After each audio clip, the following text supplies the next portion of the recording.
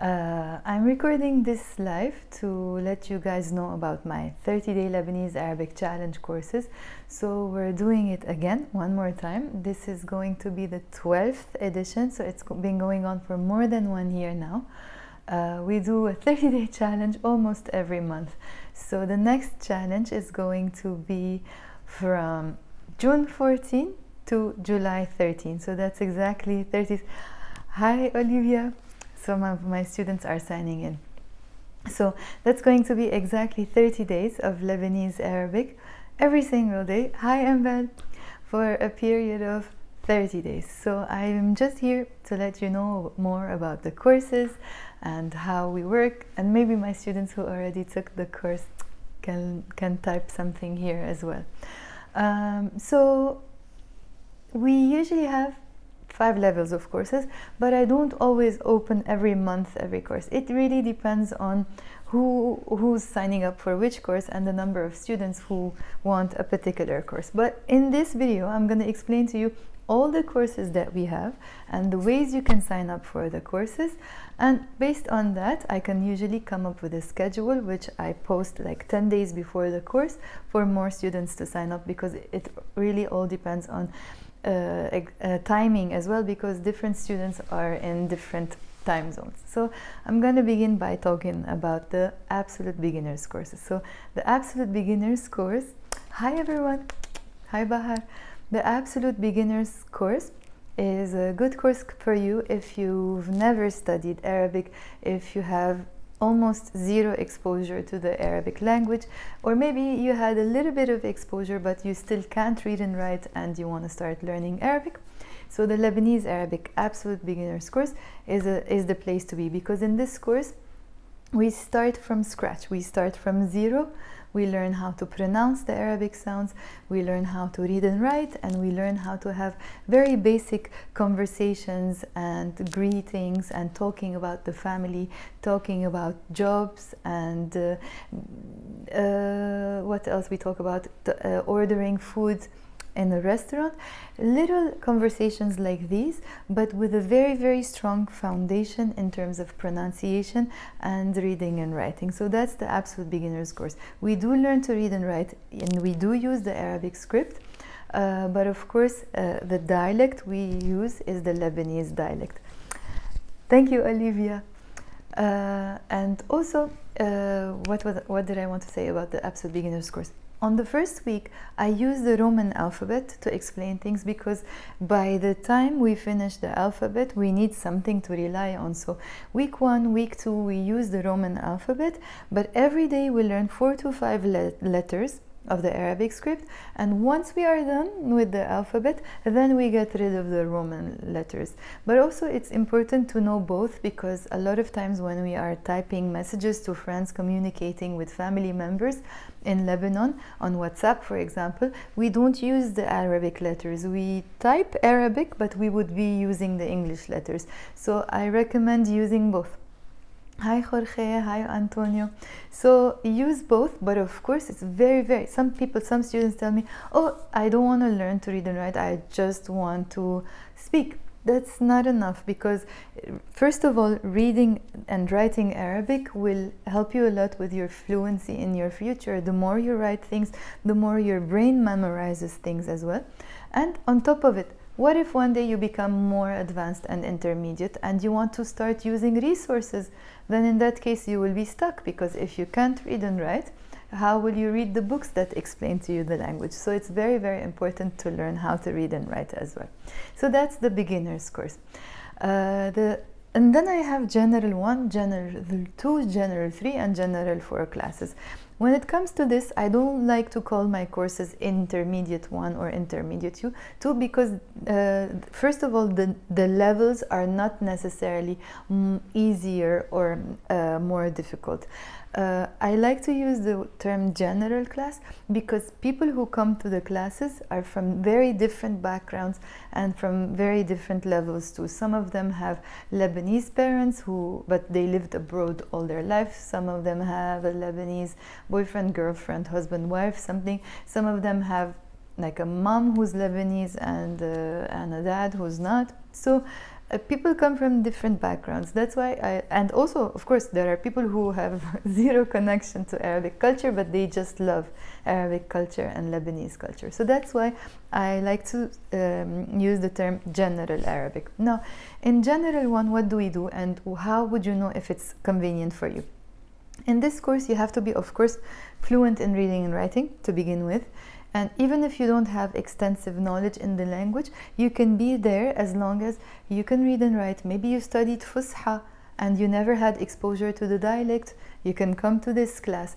In this class, what we do is we study all the grammar, all the conjugations, from present tense to past tense to future to past continuous, past perfect, every conjugation and every tense that you need to build a very strong foundation to move uh, to other levels as well. And also, even if you want to continue studying on your own, you have the tools to do that. You could then maybe study on my YouTube channel if you want. So it's a very good place to be. Maybe if you, studied Arabic for six months, uh, to one year, sometimes even less than six months, sometimes more than one year. It really depends on what is your need. If you feel you have a gap in your language, come to general one because that's where you clean up your foundations or you build a very strong foundation. And if you're not sure about your level of course you can always come to me and uh, we can have a quick chat over the phone. We can we can decide which level suits you best. So that's about the general one course. Now general 2 I believe, I think, in my opinion, is one of my. Oh, Joanna is here. She will tell you if I'm right or wrong. Is one of my most difficult courses because we probe very deep into the grammar. We talk about verb forms and how to form participles, how to use participles. So it's a, it's a, it will give you a very, very strong grammatical background. And when I speak about grammar, it doesn't mean that. Uh, uh, it's just grammar. No, we always do things in a conversational way. There's a lot of role plays going on, and we use scenarios. And uh, yeah, uh, we do everything in a conversational way, but we also hi Jamie, but we also uh, focus a lot on grammar and having a very very clean foundation. So that's the, the General 2 class. In the General 2 class, I really really recommend that you do the General 1 class first, or at least you should know the, the, the basics of the language, the foundations, the conjugation, how to conjugate the tenses, and then come to General 2. You can come to the General 2 class if you've studied Arabic for about one year, one year and a half to two years. It really depends. One thing I want to mention about the courses is that the level is very moody, and that's why I would like to speak to my students before I uh, assign uh, them to the particular classes because sometimes, for example, I had um, general one classes that the level was, oh my god, really good because it depends on the students who were in that class because they might have uh, had a lot of exposure to Arabic and then they came to that class. And sometimes I have students who are uh, like uh, new learners, they come to general one. That's why it's important to speak to students before to put them in the right classes.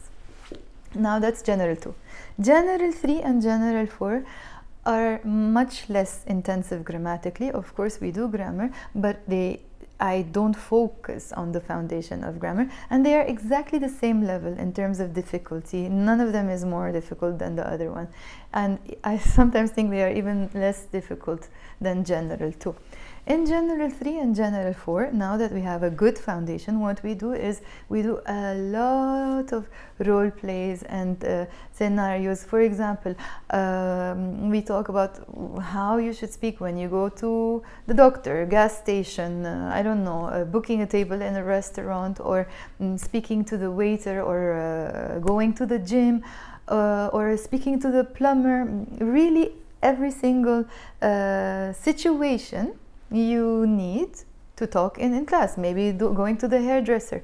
All of these things we do in General 3 and in General 4.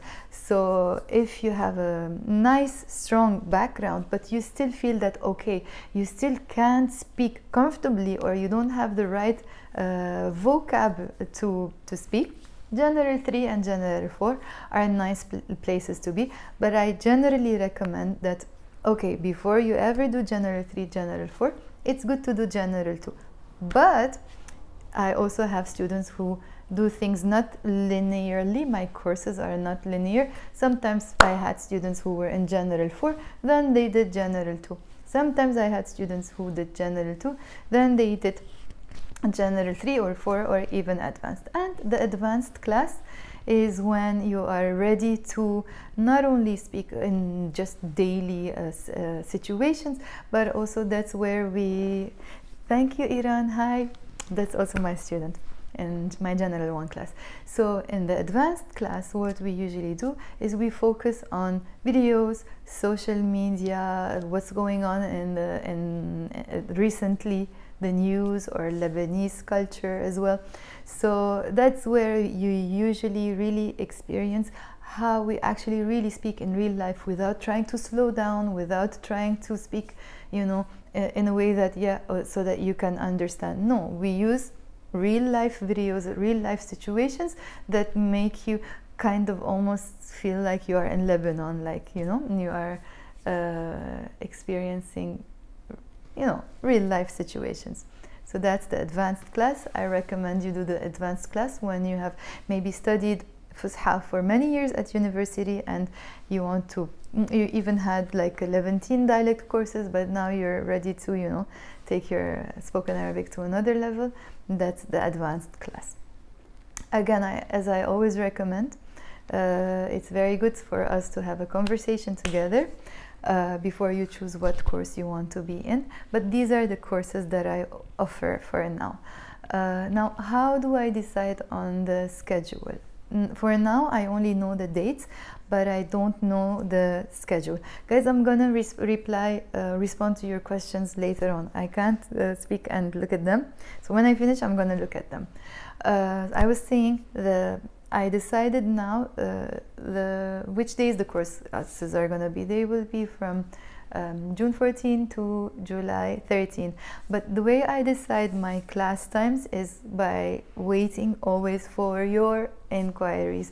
So if you're interested in the courses, I have a form. I'm going to leave it in my Instagram. You can go ahead and click on the form fill your information. Let me know what time slots suit you best. I'm very flexible in terms of time. I even uh, work sometimes until 2 a.m uh, for my my students who are located in canada or the usa so just tell me okay my level is this. Uh, i prefer this time this time this time and that time and uh, if you have any questions you can leave them in the form. And if you're not sure about your level as i said you can speak to me. And then i collect all these emails and all these inquiries. And i check okay i have most students want this course at this time. That's how i open it. So that's why if you would like to sign up do this very very fast okay? So that we can come up with a schedule as soon as possible. The course starts exactly and in two weeks and one day okay? Um, this is what I wanted to tell you about my courses. If you have any questions of course you can get in touch. My email address is chaghig at globetrotwitharabic.com I'm gonna actually write it down here wait. Chaghig at globetrot it's long globetrot with arabic com.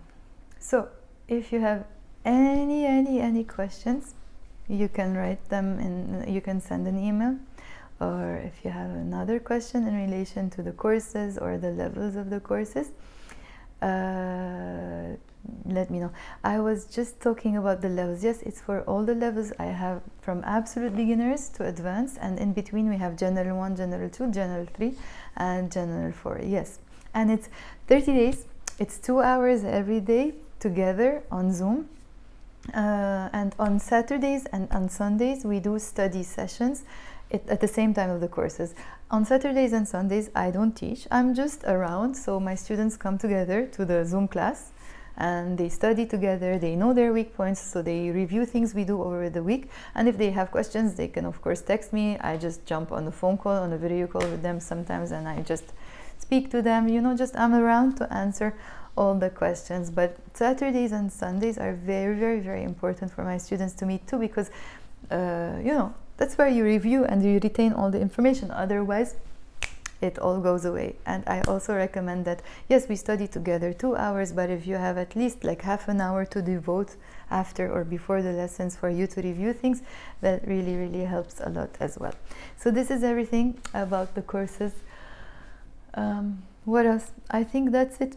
Does anyone have any questions? If you have them, say them now, or I'm gonna leave and then you can send them to my email.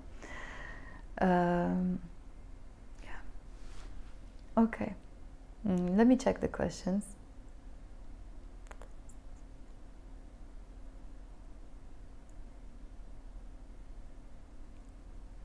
I'm saying hi to all of you as well, and thank you for those of you who are saying nice things about my courses. Uh, there's a person saying they want to learn Saudi Arabic. Uh, um, I don't teach uh, Arabic spoken in the Gulf area. I teach uh, Lebanese Arabic, the Lebanese dialect for now. I used to teach modern standard Arabic as well, but not for the moment. I'm focusing on the Lebanese dialect, which is also which falls under the umbrella of Levantine Arabic, which is the Arabic spoken in Lebanon, Syria, Jordan, and Palestine. And think about it the closer you are geographically, the closer the dialects will be. Even when I say Lebanese dialect, the way I speak is different from another person who lives in Lebanon in a different area of Lebanon, although Lebanon is very, very small. So, of course, the dialects will always differ, but they are mutually understandable. But if you try to speak let's say one dialect, you have to master it for another person from another dialect to understand you. Like, for example, I have an Egyptian friend. He speaks to me in Egyptian. I don't reply in Egyptian unless I want to have fun and try to speak Egyptian.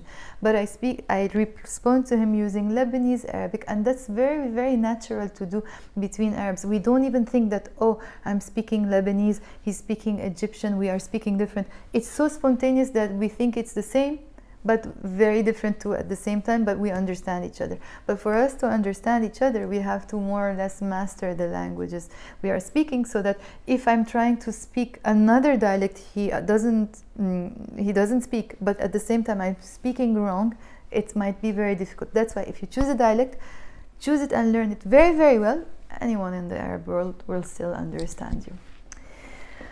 Okay guys yalla. Enough for today Thank you so much for coming in. And if you have any questions, again, send them to my email, chaghig at globetrotwitharabic.com. I send you a hug. Bye for now.